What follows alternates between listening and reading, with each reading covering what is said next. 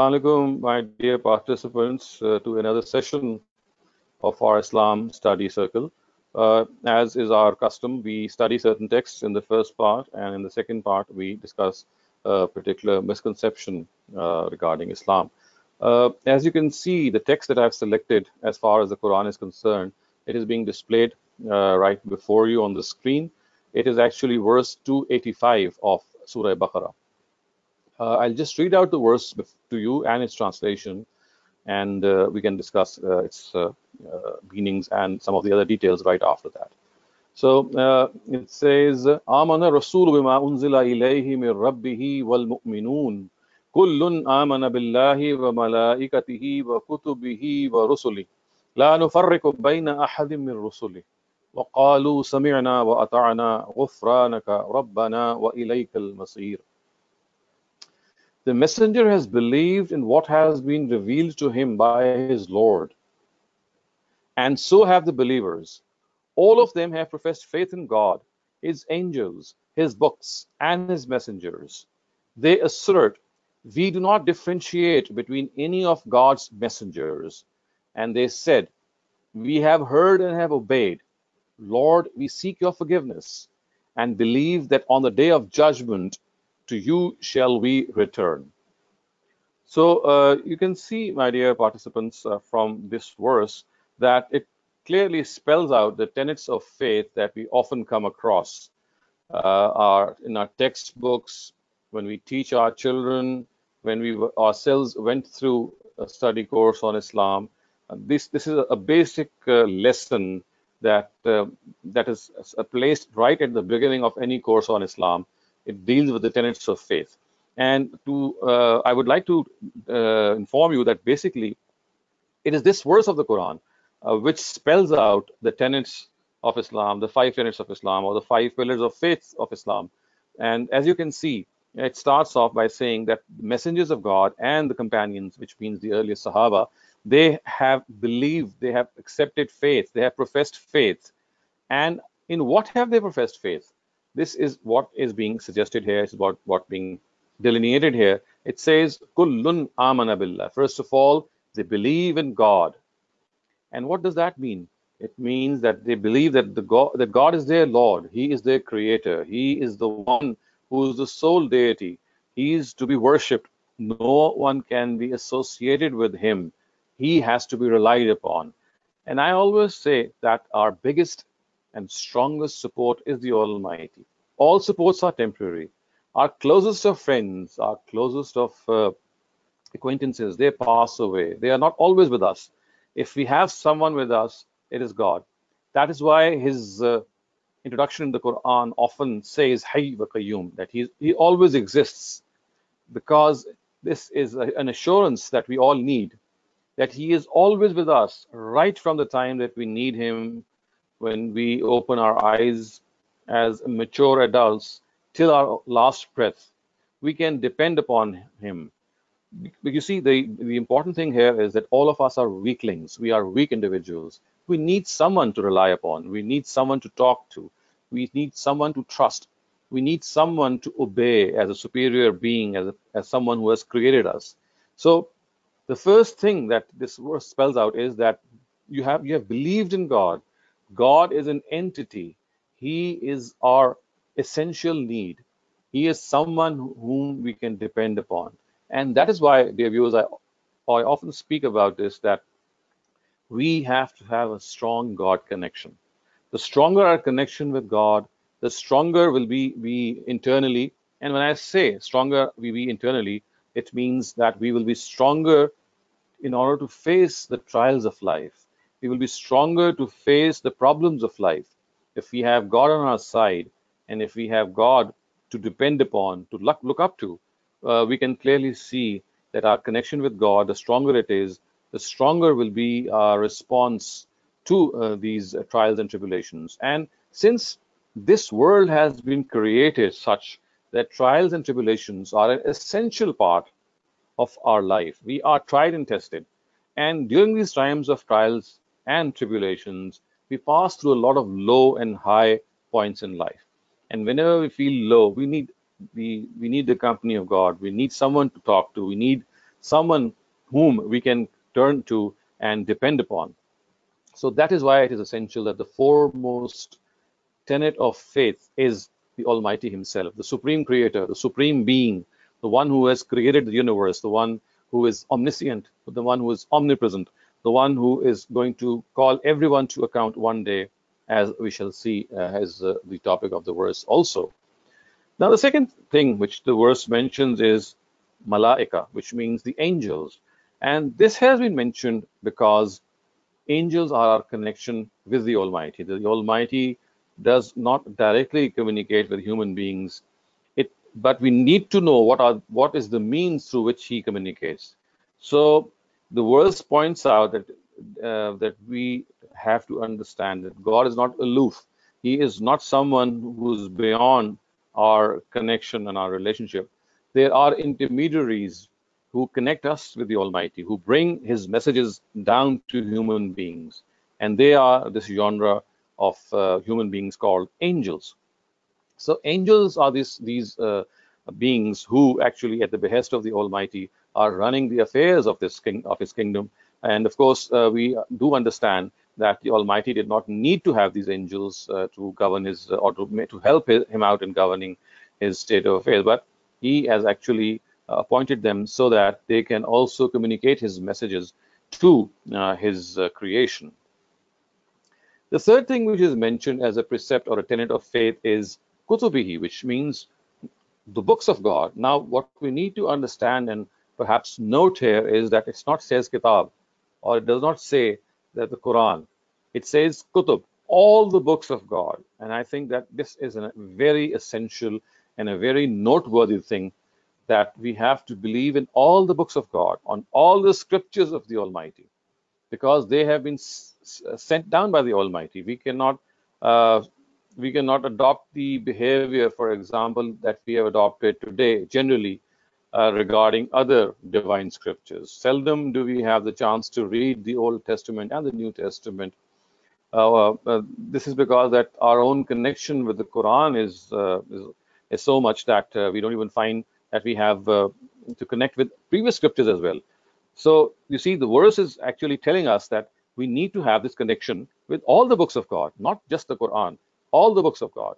All the more reason that we read the Quran and understand it, and all the more reason that not only the Quran, but also some of the previous books, and most important of them is the Torah, of course, which is now uh, the consists of the Old Testament, and then we have the New Testament, and the Psalm. So these four books, uh, which are extant in uh, in our, uh, we have them with us.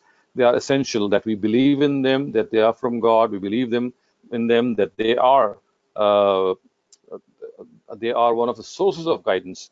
And of course, we must not differentiate. And then we see the verse goes on to spell out a fourth thing, and that is varusulihi, that we have to believe in the messengers of God. And again, please note the plural it does not say that you have to believe in Muhammad only, which is to whom, of course, we owe our debt.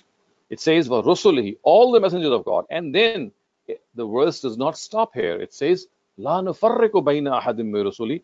Not only the, the Prophet and the companions professed belief in all the messengers of God, they in fact did not differentiate between any one of them. So it says, La nufarriqu bayna ahadim rusuli. We will not differentiate. Now, what does this mean? It means that we will not regard someone to be superior to the other. Each of the prophets have their own status, their own position, but none is to be given an absolute position. All of them have their own relative distinctions, but we will not differentiate. We will not say that we believe in some and not believe in the others. We have to unconditionally believe in all the messengers of God. And I think this is a supreme message of the Quran. It is it is something which embraces, which engulfs everyone. It's a message to humanity which tells us that our ambit are is all the messengers of God, not just Muhammad, the final messenger. And I think this is an area, this is a this is a, a part of the Quran in which we should uh, revel, in which we should feel happy at how the Almighty has actually made this easy for us and how through this we can become a single fraternity. Humankind can become a single fraternity because they are not divided into various uh, followers of a particular uh, prophet of God. That division, of course, does exist. But as far as believing and accepting them as messengers are concerned, there is no difference. And then the fifth thing, which uh, this verse goes on to say, is Samirna wa atharna, that we, O Lord, we have heard what you have told us. And after hearing that, we present ourselves as people who would obey what you have told us. So it's not just listening, it's not just a question of mere listening. The immediate response is that whatever the Almighty is going to tell us, we are bound to follow it. And you see, the next words are Rabbana wa ilaykal masir. Lord, forgive us. And and we believe that on the day of judgment, to you shall uh, we shall return. So you see, the fifth tenet of faith, which is belief in the day of judgment, although it's not mentioned the way the rest of the tenets are mentioned, but in a very distinctive way, it tells us that the day of judgment is also something that we need to believe in. And of course, uh, there's no need to point this fact that unless we believe in a day of judgment, this world becomes a meaningless place. This world becomes a useless place. It does not give us a very tangible explanation. Uh, it actually confounds us. If this world is all there is, then a number of questions arise. The foremost being that why has the Almighty created this world such that there are people who, in spite of doing good deeds, end up in a lot of problems. And there are people who do bad deeds, they end up right at the top. And we find injustice prevailing. We find people being sacrificed. We find merit being sacrificed. We find so many imperfections. So if this world is all that there is, then of course we have the supreme question that then what is this whole world all about? Is is it something which is uh, which is really something uh, to be proud of, to be uh, a part of, because we think that it's uh, it's the grand scheme of the Almighty? Of course, the answer is well known. So, uh, viewers, we've come to an end to this part of our segment in which we have discussed a Quranic verse. And now let's move on to the hadith uh, that we are going to discuss today. Uh, this hadith is actually found in the Sahih of Imam Muslim. And it's a very, very subtle narrative, in fact, I would say It's a narrative in which, if we can understand what, the, what, the, what the Prophet actually wants to convey, we will really feel this this elation, this jubilation in our in our inner self. It's like a spiritual satisfaction that we will gain. Let me read out the words and the translation. So word, the words are an Abi Huraira قال قال رسول الله صلى الله عليه وسلم الدنيا سجن المؤمن وجنة الكافر. Abu Huraira stated that God's Messenger wasallam said, this world is a prison for a believer and a paradise for a disbeliever. I think it says it all. Uh, what we were just discussing earlier on that if this world is all that there is, then of course, uh, why should we bother regarding all those moral principles? Why should we bother to go through all that system of merit? Why should we suffer at all? Why should we always not make hay? Why should we not be indulgent in our behavior? So basically, this narrative is something which answers this that this world is not a world in which we have to indulge ourselves. This world is a world in which we have to pass through certain restrictions. There are certain restrictions that we need to follow. There are certain bounds and limits that we need to always observe. And this is figuratively actually reflected in the words of this hadith by telling us that it's like a prison to a believer. A prison to a believer, of course, means that he is a person of principles. He is bound by certain principles. And as long as he obeys those principles, he has to lead a life of austerity. He has to lead a, lead a life of discipline.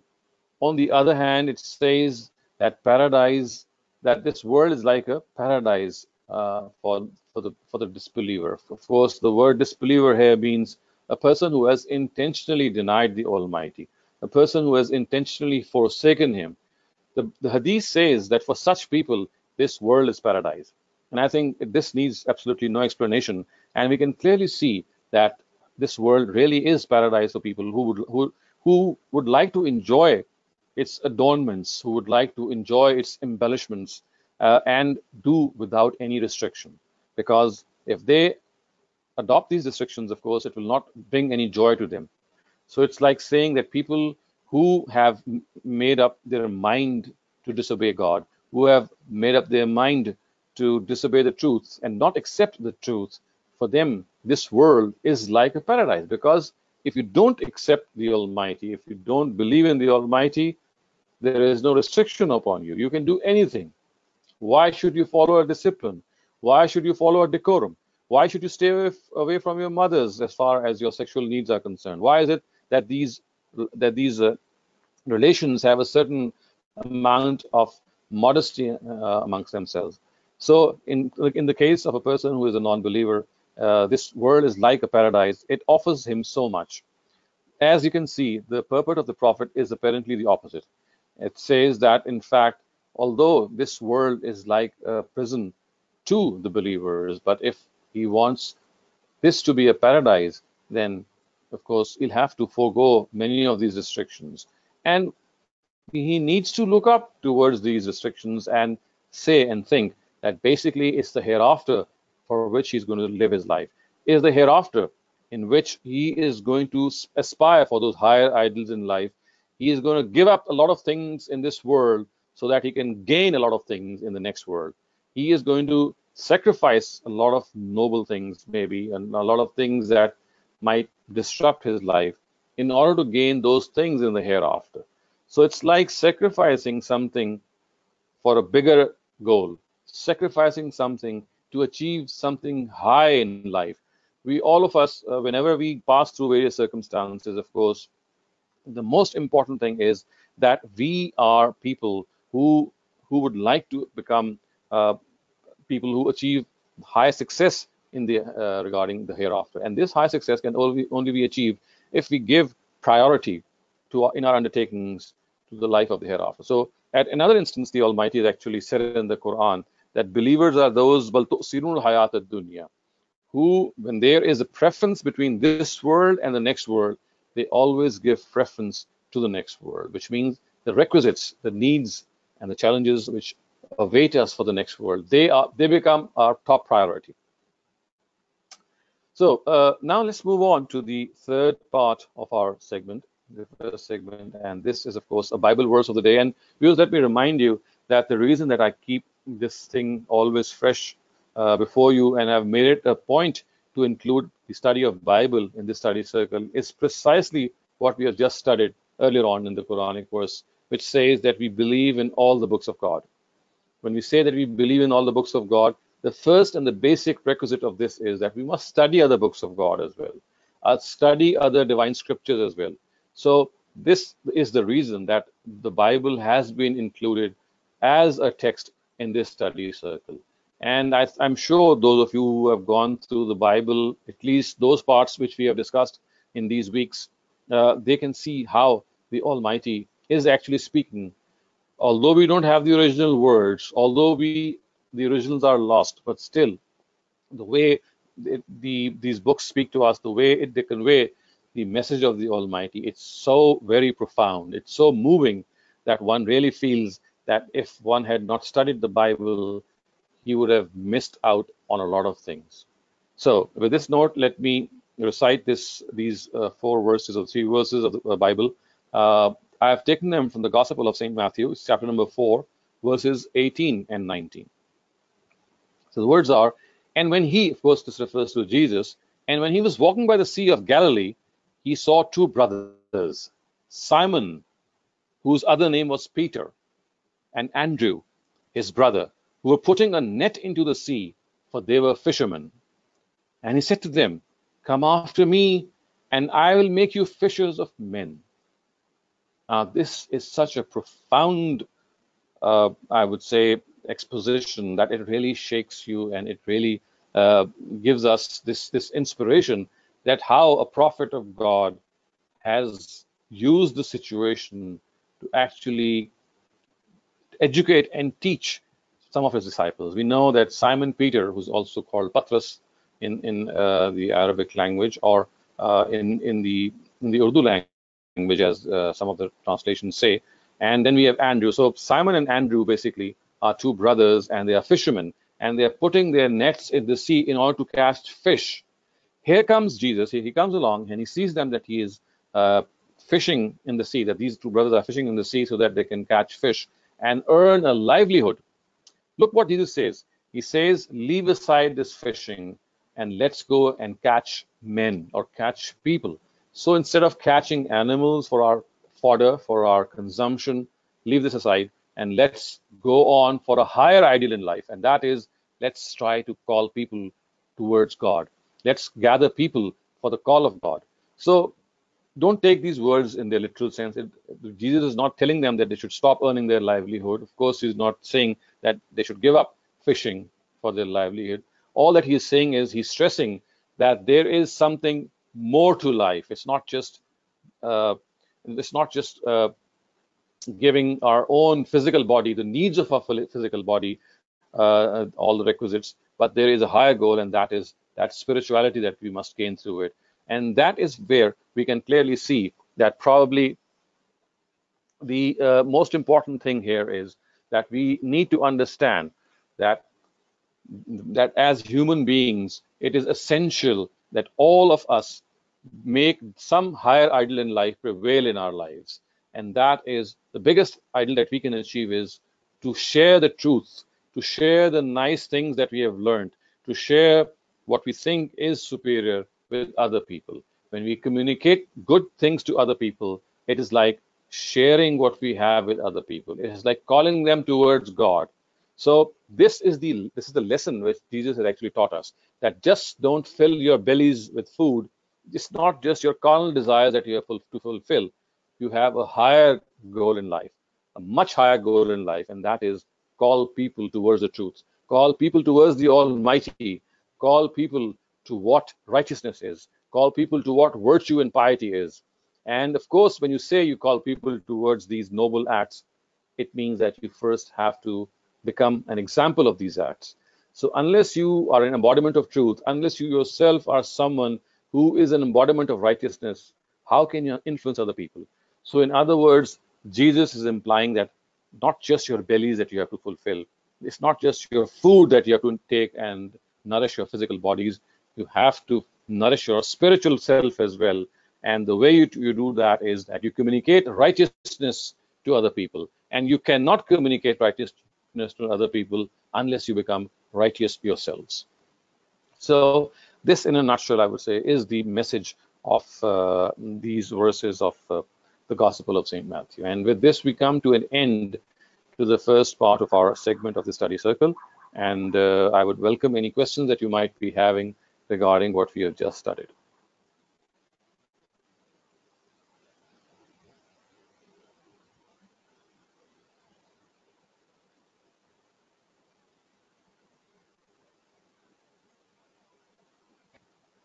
So if you have any questions, please let me.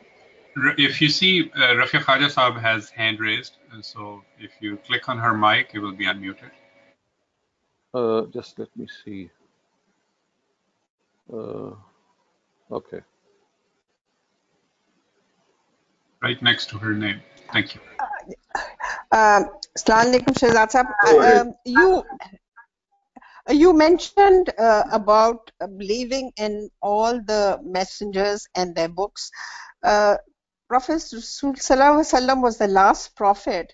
And then what is the difference between uh, the Quran and the previous books? And is there any difference? I sort of understood that the Quran was the final book and it was like you improved the previous books and the messages. And am I wrong in saying this? Uh, see, what we, what can be said in a nutshell is that the difference between the Quran and the previous scriptures is that the only book of God which is available in its original language in its original form, the way it was revealed is the Quran. And hence, it is but logical that we have to rely on the Quran and read every other divine scripture in the light of the Quran. All other divine scriptures, including the Old Testament, the New Testament, the Psalms, they are basically translations. We do not have the originals with us. All of them have been translated. So these translations can only be judged if we had an original of them, which we don't. So therefore, it is now our uh, restriction or we are under compulsion that we have to study these previous scriptures. And if there is a discrepancy between these scriptures and the Quran, and the word of the Quran is final, that is what uh, we have to understand. So the difference in a would be that the Quranic scripture or the Quran is found in its ultimate final language in the very form in which it was revealed. And the rest of the scriptures, they exist as translations. Although these translations, most of them present what the truth is actually what it is. But again, there have been distortions, especially in the historical part of these scriptures, which the Quran has corrected at a number of places. And hence, uh, uh, we are very safe when we study these previous scriptures because we have the light of the Quran shining on these scriptures. And if there is a discrepancy, the Quran has corrected them. But other than that, there are some there are some aspects in which these scriptures are actually explaining the Quran. If they are actually delineating what the Quran is saying, or in other words, they are reinforcing, explaining, corroborating, substantiating what the Quran is saying. So there are certain areas in which there are discrepancies, and there are certain areas in which this explanation is actually reinforcing each other. So we have to be uh, wise enough to be uh, to exercise our discretion that wherever there is a discrepancy, the Quran has to prevail. And wherever there is not a discrepancy, then it's like having a reinforcement of the same message in different styles and different words from different prophets of God. Uh, Dr. Shehzad, didn't St. Paul uh, change the Old Testament, New Testament, even about Jesus Christ being the Son of God? That is not what the previous belief was. Uh, again, could you correct me, please? So, uh, so what we can say is that Pauline Christianity is an interpretation of St. Paul's uh, own uh, works, but this does not mean that he has changed the, the, the Gospels themselves he has his own interpretation of these gospels. What we can say. It's not that he has actually changed the gospels themselves. So it's like saying that a very senior interpreter of the gospels has made a certain interpretation of those gospels which we might not agree with. However this would not be correct to say that he has actually changed the scriptures himself. Because uh, what he has done is that he has given a different interpretation. Like for example he says that that the law of the Torah or the Old Testament is just meant for the Jews. It, it is not meant for people who profess faith other than uh, the followers. So it's not meant for non-Jews. That's what he said. So basically, he is given a new interpretation of the scriptures. He's not changed them. He's given a different interpretation. And if we have uh, the scriptural background with us, we can clearly distinguish between his version and the version of the Bible itself. But calling Jesus the Son of God, uh, that wasn't there previously. Of course, you see, that is that's what we're saying that that that distortion has been made by some of the translators. It's not Saint Paul himself. We cannot call him guilty of this mis- mistranslation. There have been other areas, and I, I think I've explained this earlier on in some of our sessions that how in Arabic and in Hebrew the words ab uh, the word which is used for father is common for father and God, and how the word son is common between son and a servant of God. So, like a like I said, that there are certain common words which have been translated such that the word which was meant for father actually is also meant for God Himself, and the, the two have been uh, mixed up, up at certain places. So there are some other, I would say, causes for this mistranslation. It's not that this uh, Saint Paul has been uh, responsible for these mistranslations. As I said, his contribution is that he has given Christianity a new interpretation or a different interpretation that we would perhaps not agree with. But uh, I would not say that he has actually changed the Bible. Thank you very much.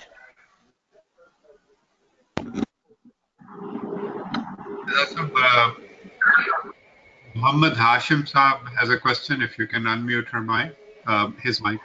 Um, just a quick request to everyone. Uh, when you have a question and you're following up, in the meantime, if you can mute your mic so there is no background noise. And once you're done, you can mute it as well. So Rafia Saba, if you can mute your mic, please. Right. Please go ahead. Uh, Hashim Saab's mic is. Uh, uh, is the mic unmuted now? Uh, no, it's still muted if you can click on it once. Uh, This is uh, Ji, Dr. Saab. Uh, My question is, uh, is Matthew part of the New Testament? What I mean is Injil, or it sounded like this is a hadith of the. Uh, no, it's part of part of the New Testament. Matthew is one of the Gospels of the New Testament. So there are four canonical Gospels: Luke, Mark, Matthew, and John. So Matthew is one of the, one of these Gospels. oh, okay. Because the, the way the verse is, it sounded like it's a hadith of Isa salam. So this this proves my point even further that how close these words of the Prophet Jesus are to our to the to the words of the Almighty Himself and to Muhammad as well. You can very well imagine that a person like you who has uh, who has been just told of these uh, verses, he has misconceived them to be perhaps words of the Prophet or the Quran. And this actually tells us that how this common origin of these sources speak for themselves. True. Thank you, Doctor.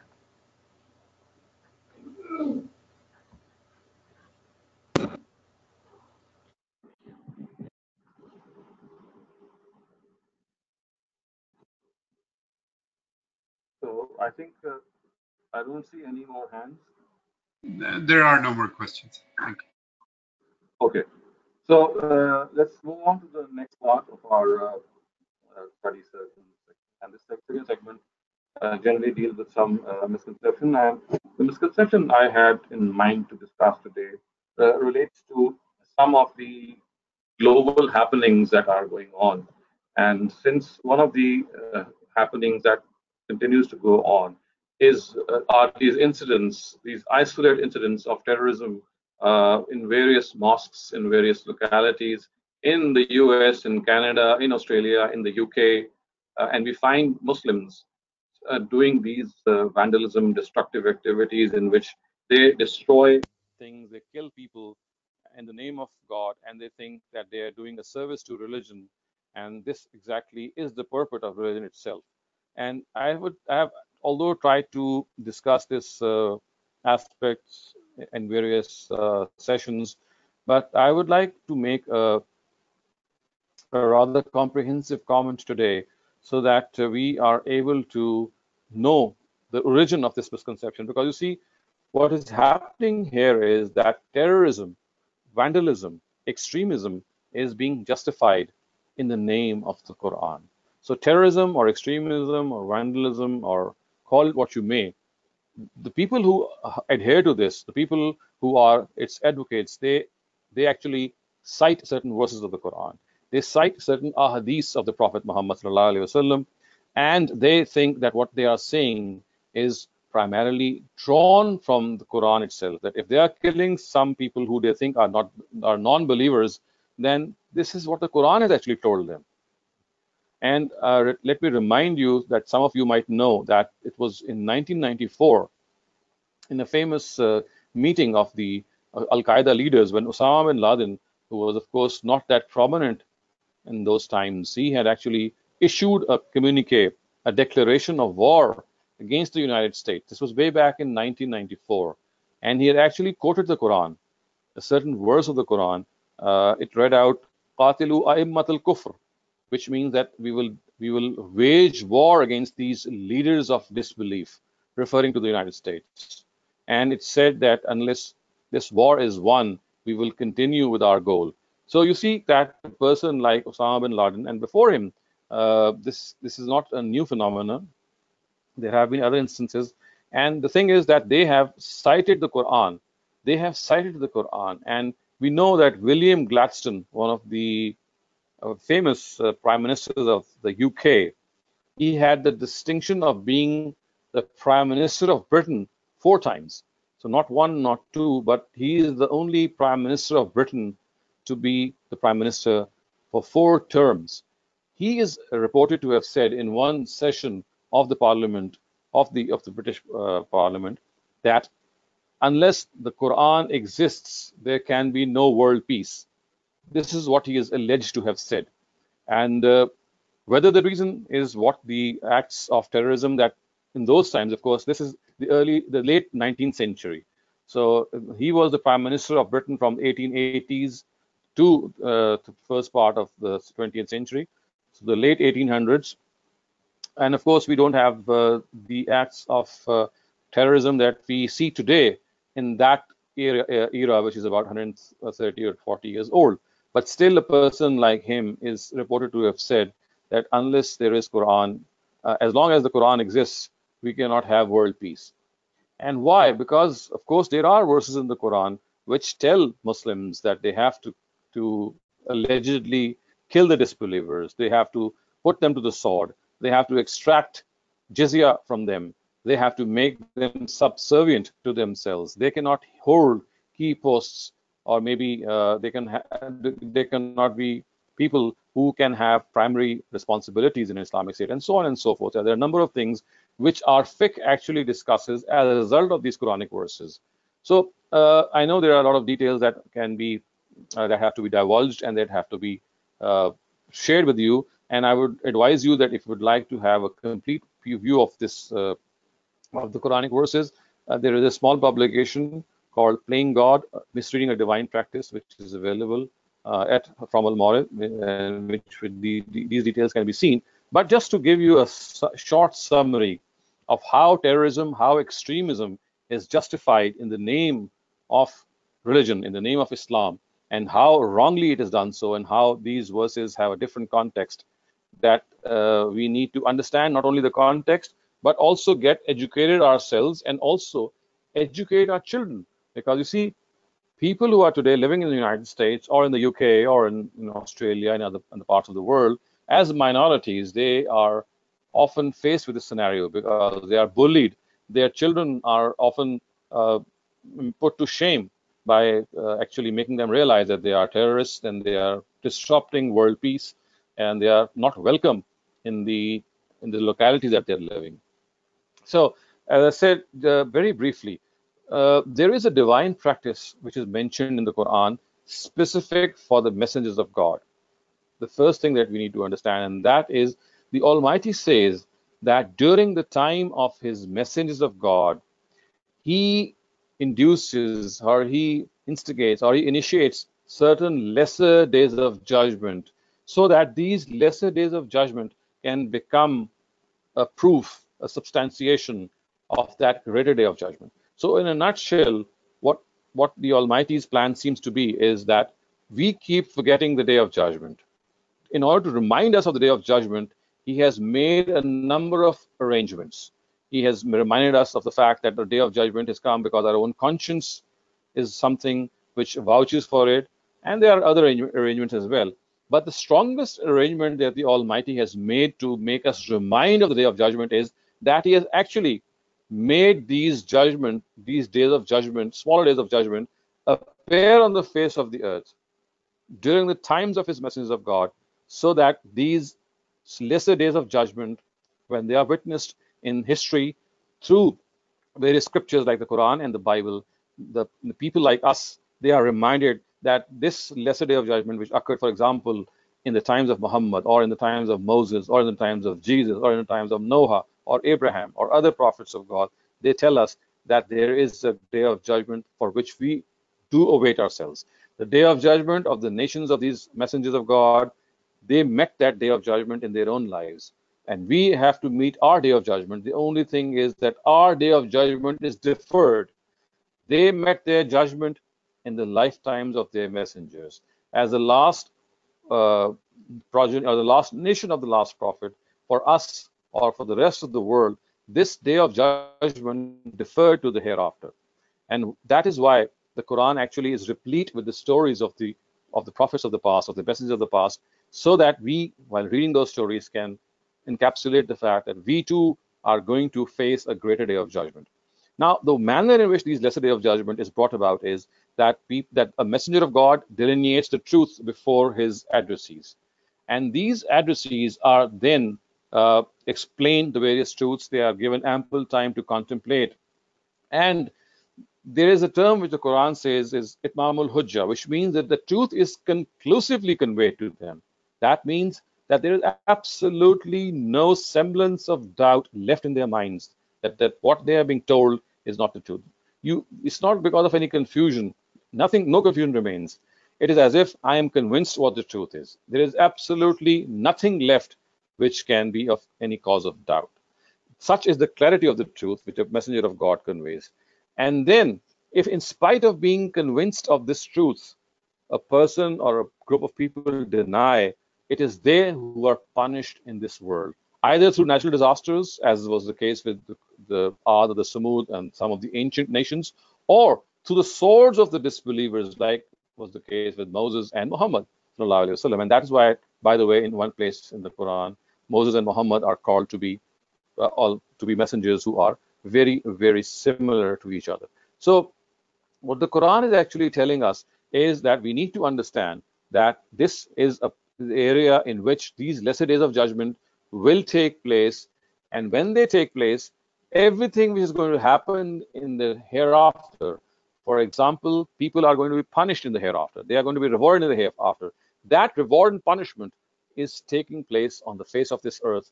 And that is what happened in the lifetime of these messengers. So when they intentionally denied, the addressees intentionally denied the truth, they were punished. They were punished through various ways. People who were polytheistic or insisted on their polytheism, they were put to death. And people who were basically monotheists, which means that they professed in one God and were deviant in this belief, they were actually spared and given a lesser punishment. So this basically is, in a nutshell, an explanation of the fact that the all these verses of the Quran, which speak of of actually punishing the disbelievers or killing them, they all relate to this law of the Almighty, in which during the times of a messenger of God, people are put to death or punished in various ways because they had intentionally denied. This punishment is given to them by the Almighty Himself through His messengers because the people were left with no excuse to deny the truth. So the Quran in a number of places says,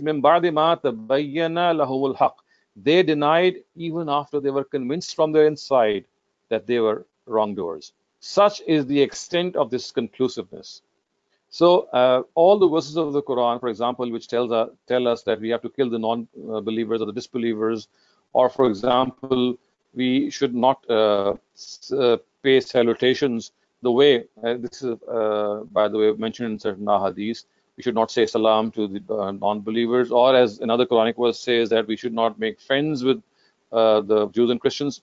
All these verses and some of the other ones which pronounce this harshness are related to that era of the messenger of God, in which once the truth has been communicated to these nations of God, they intentionally denied. And as a result of that intentional denial, they were put through various forms of punishment. So, not making friends with them, or imposing jizya upon them, or not saying salam to them, or not inheriting from them, uh, all these are various forms of punishment which actually were given to the direct and the foremost addressees of a messenger of God, which tells which tells us that this is something that we need to know that this is going to happen with us as well. The only thing is that they met their fate in this world, and we are going to meet our fate in the next world. And we have to remain on guard that this will happen one day.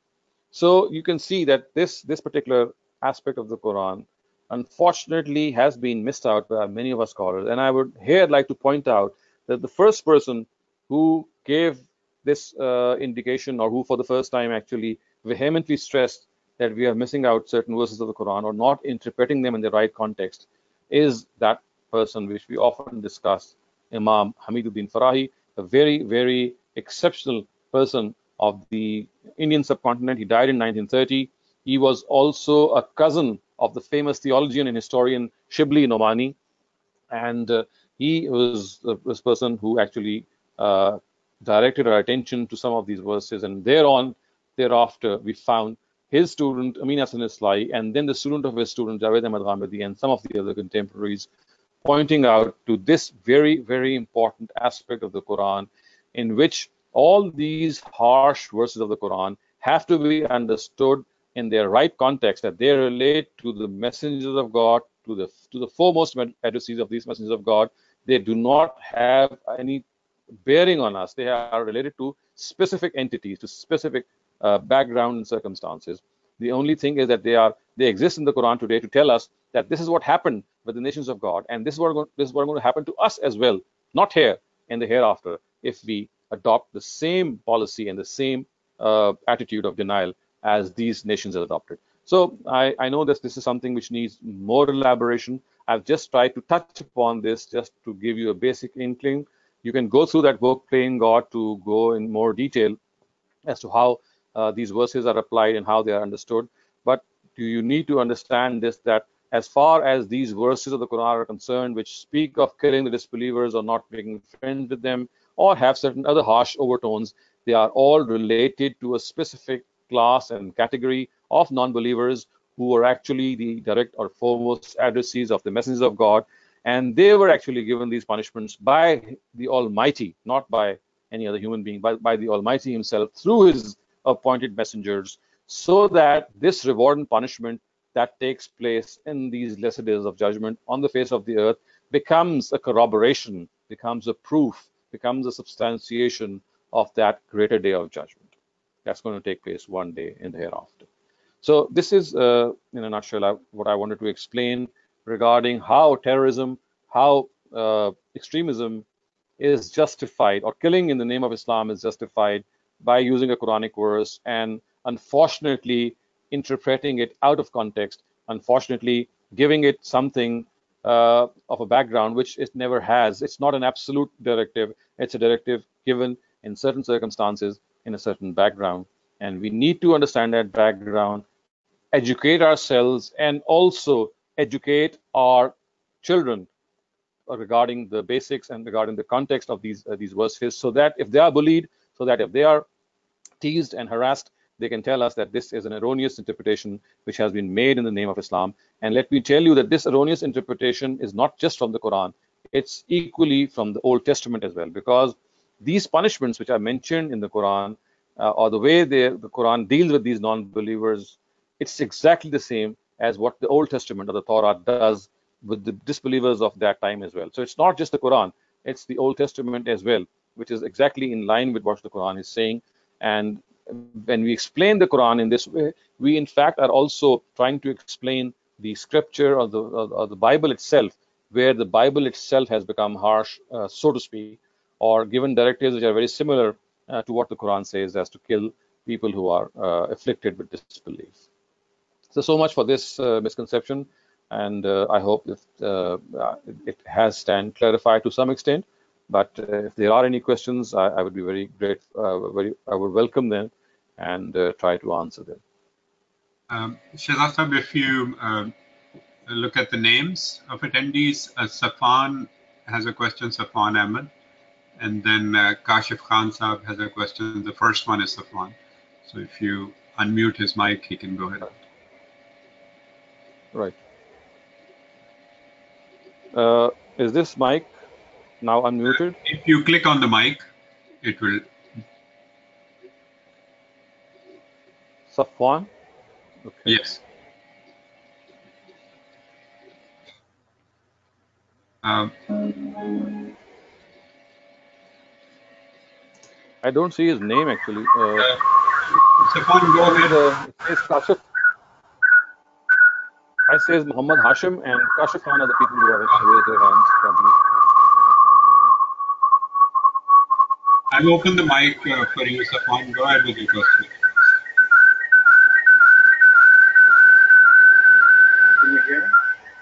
There's a lot of background noise. I think there's a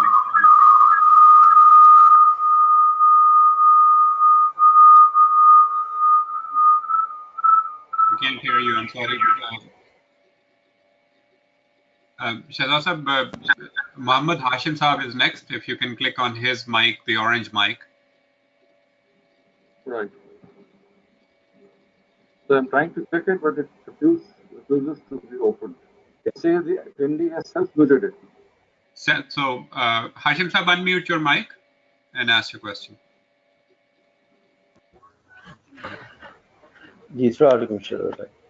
My question is, uh, this, this phenomena that uh, Molana Farahi or the or the mother, I mean the the madrasa of the Farahi that unfold this phenomena that the saza and all these ayat and the that it happens uh, and related to those people of that time, and Allah subhanahu wa ta'ala bring the give saza and make the decision of the uh, the last is an example of the last day of judgment on those people when the Rasul comes to this world. We don't see any sign or such comments have been ever ever given or discovered in the history of the prophethood or the uh, or the Sahaba Ikram or even Tabi'in or Tabat Tabi'in throughout the history. What, what is the reason that none of the others have ever looked in, in that direction? Or is something that we are When missing? you speak about the Sahaba Karam, I don't think that this is the right uh, uh, interpretation. This, when the letters were sent by the Prophet himself to various uh, heads of the states, like to Syria and to, to the, Byzant- the Byzantine emperor, to Persian emperor, to the king of Egypt, all of them actually said that he is actually invited inviting them to the truth, and he's telling them that uh, he is, has been appointed from the Almighty, and that people who deny him are going to be punished. So I think that as far as the Sahaba are concerned, there is no there was no doubt in their minds because they actually toppled the kingdoms of Persia and Byzantium in their times, and they in fact quoted these same verses of the Quran when they did so. The problem has arisen because there are certain, uh, I would say, interpreters of the Quran of later times, which perhaps who perhaps overlooked these uh, comments of the Sahaba themselves or these verses themselves. So it's not that you don't find any reference from the Prophet himself. As I said, the Prophet wrote these letters and he described what he is going to do in, the, in those letters. And when the Sahaba actually attacked Rome and, and Persia, they quoted these verses and they actually were they, they had this thing in mind that they are extending or they are implementing the punishment of God on the disbelievers because they had intentionally denied the truth. What happened was that it was the later interpreters of the Quran who perhaps for some reason which we have still to uh, discover uh, maybe but uh, we do think that they, they, they were, there must be something which made them overlook this uh, but what exactly that was we cannot are not in a position to say. But the fact is that this happened much later as i said in the third or fourth centuries. And then when the fiqh was crystallized and when for example abu hanifa appeared on the scene, or Imam Malik appeared on the scene, and Imam Shafi, Imam Ahmad bin Hanbal, and then they, when their jurisprudence was adopted by various states of various countries, it was they then who interpreted this whole uh, attitude, this whole exercise of Sahaba in a different light. And then, uh, unfortunately, ever since their interpretation, which uh, came to light in the third century, all the way to the 14th century, now almost a thousand years, it has persisted with that.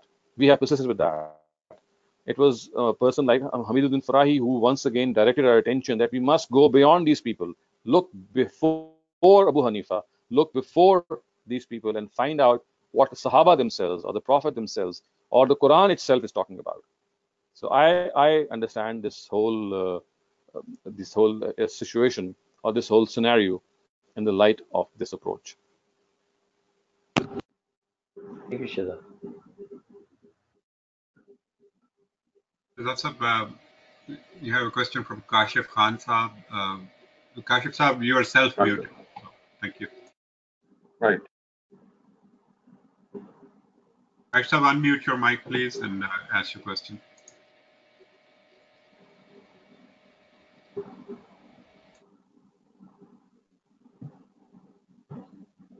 So maybe you've changed his mind. No, uh, he's, I think he's trying. Uh,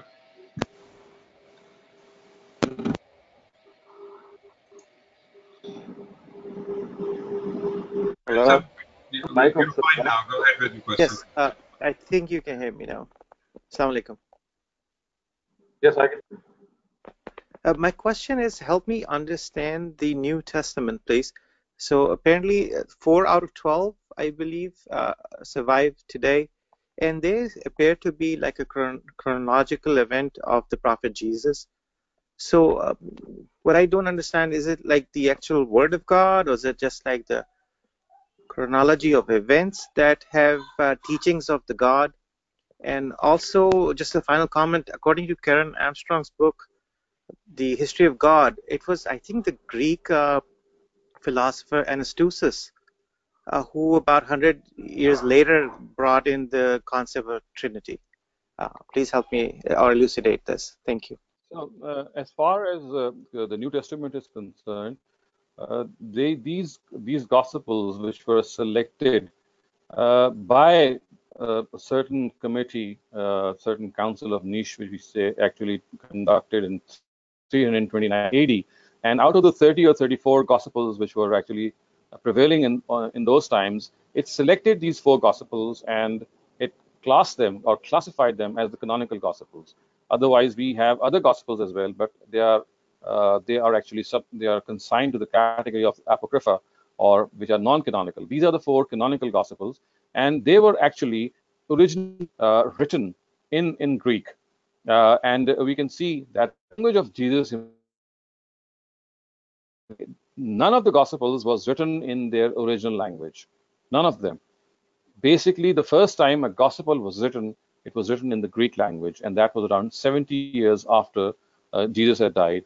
And as far as the genre of these gospels is, are concerned, they are basically biographies, I would say, or or life histories of these of, of Jesus himself through these uh, uh, people who are have actually written them.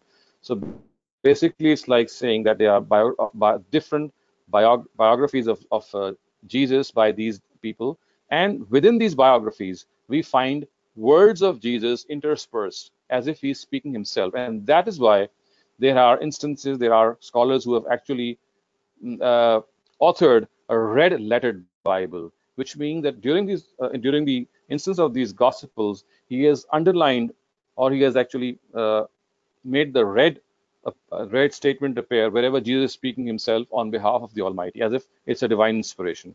So within these biographies, within these four gospels, wherever Jesus is speaking on behalf of God, that has been put into red so that you can see that in this bio biography, the part which is divine can be singled out or can be set apart. Now, as far as the question of Trinity is concerned, we have a lot of debate on Trinity as to who was its uh, inventor and who brought it out first. Karen Armstrong is, has one view. There are several other views. I would I would advise you that you look at, look up. It's not that, that easy.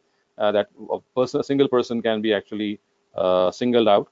There are a lot of debates, but uh, that's something which is consigned to history. Thank you, Shehzad Sab. Uh, so we'll try Safwan again. Safwan, your mic is muted on, from your end. Go ahead. Can you hear me? Yes, I can hear Can you you. hear? Can you hear me? Yes, I can hear you. Yeah, please Okay. go ahead. I can hear you.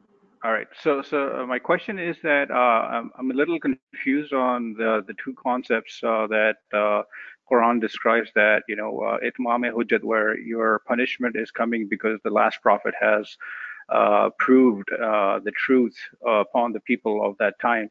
At the same time, uh, Quran says that you have the freedom of uh, believing or choosing not to believe. These two concepts kind of contradict in my mind, and how does that? Uh, you know, actually uh, sort out. Uh, that's that's first part of my question. The second part of the question is that uh, considering the fact that the Quran is very contextual book, handing over a uh, a translation of Quran to a non-Muslim would I don't think would be a good idea. What, what, what's your thought on that? Thank you. So, as far as your first question is concerned, uh, which actually relates to like Rahaf ad-Din and the fact that there is this quest, uh, issue of Itmam al-Hujjah. Uh, so on the one hand, the Quran seems to say that people are absolutely free to choose what right and wrong is. There is no compulsion regarding right and wrong. And on the other hand, it says that if they choose wrong, they will be punished. So I don't think there is any any, any discrepancy or any contradiction. Uh, what the Quran here is telling us is that the choice of adopting righteousness or something which is wrong is our, on our own self. It's not that God has compelled us to righteousness or God is, has compelled us to accept what uh, uh, wrong is. It's our choice. We have the freedom to choose between right and wrong. But as far as the consequence of right and wrong is concerned, that is an entirely different thing. So these two verses relate to two different scenarios. There, there's one scenario in which I will say that I'm not going to force my opinion on you. You are free to choose what right and wrong is. However, if you choose wrong, uh, it's out of your own choice. You are going to suffer or you're going to put through this uh, scenario because of certain uh, things that you have done. So I would say that uh, this reconciliation between these two verses has to be looked upon in the fact that the Almighty is not forcing us to accept right or wrong per se. It's leaving right and wrong to our own choice. And much to that choice, we will be responsible that whatever we choose, whether it's right or wrong, if it's right, it's going to have good consequences. If it is wrong, it's, it's going to have bad consequences. So I, I, think that these are two entirely different scenarios. And uh, I, I, could you remind me of your second question? Yeah, the, the second question is that uh, since Quran is a very contextual book, you cannot take it out of right. the context. So, as it's yeah, very absolutely, clear. yeah, I, I, remember now. So you're absolutely right in your second question that uh, because of this extremely specific nature of the Quran, uh, when you hand hand over the Quran to a non-Muslim, uh, there is bound to be this uh, this aspect in which uh, he when he whenever he reads certain verses of the Quran which are actually lambasting him or uh, taking him to task, or maybe in his own interpretation, he thinks that the way the Jews and the Christians are being dealt with in the Quran, and since he presumably is also a Jew or a Christian, so it's like uh, being bashed upon one after the other uh, without uh, any perhaps plausible reason. So I would say that there are two things that we can do as as a means as as a, as a as something which can be of a preemptive nature. The first is that uh, at Al Mawrid, at our institute, we have developed a small booklet uh, which is called Uh, introduction to the Quran, which actually introduces the Quran in about 10 15 pages to a non Muslim reader as to what the book is and how it approaches non Muslims and how we must not confuse the non Muslims of the times of the Prophet with the non Muslims of today and how the two are different and how the Quran actually correlates them. So this is something that you will find that is going to be published very soon in the next maybe one, one month or so. It's a short booklet which is meant for this very purpose that you, before you hand over the Quran to a non-Muslim, you give him or her uh, introduction to this this uh, work of uh, the Almighty, and then you give uh, the translation of the Quran. But other than that, let me also tell you that uh, it's the strange are the ways of the Lord. You see, uh, however much we humans would like to prepare other people for what God is actually saying or not saying, you see, the, the book itself, there is something in the book itself which does communicate a lot to non believers because you see, it's not just this issue of how the Quran is dealing with the non Muslims. The Quran is, is, a, is an amalgam of, of, of so many other things which inspire people to come closer to God. For example, the concept of Tawheed, or oneness of the Almighty the concept of the fact that you are subservient to a single God that has the single most profound appeal. So even if people don't understand this aspect of the Quran, in which they seem they might get confused that the Quran is speaking very harshly regarding non-Muslims or the punishment of the non-Muslims or issues like jihad. Uh, in spite of this, people have continued to accept Islam ever since the time of the Prophet, even though this particular aspect of Itmam al-Hujjah was not always clear to them. Why? Because, as I said, the Quran has a diverse appeal. If it if there is a confusion of if there is something which is not answered by the this issue of uh, conclusive communication of the truth or Itmam al-Hujjah, it is actually covered, or I would say, uh, in, in, a broad sense, that it has so many other ways of making other people realize that it is from a book from God that they cling to the, those other other ways as well. But as I said, since this is a is a phenomena which has occurred in the last 40 or 50 years in which terrorism, extremism, and killing people has become more rampant. So therefore, this these particular verses of the Quran now stand out much more than they used to 50 years ago. 50 years ago, when there was no such terrorist, terrorist activity, although we still had we still had verses in the Quran, but still, since they were not acted upon, so that's that part of the Quran was, I would say, uh, not as disturbing to a newly converted Muslim or a person who was coming closer to Islam.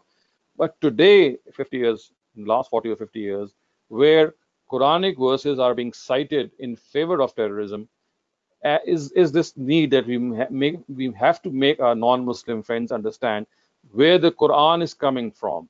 Why is it becoming harsh, and where is this law of Itmam al-Hujjah actually originated from? It's not not just the Quran the Old Testament, the New Testament, they also speak and refer to this law.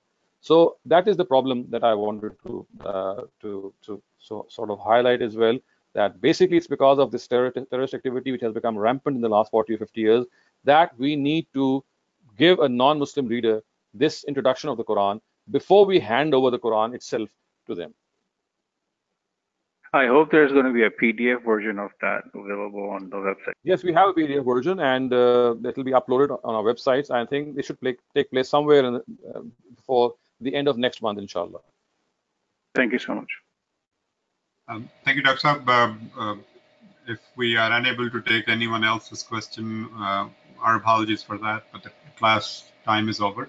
So if you don't mind, uh, uh, click on File and uh, End Webinar um, from the main menu. And inshallah, Okay. we'll meet next Saturday. Inshallah, we'll see you next time. Okay, Khuda Hafiz.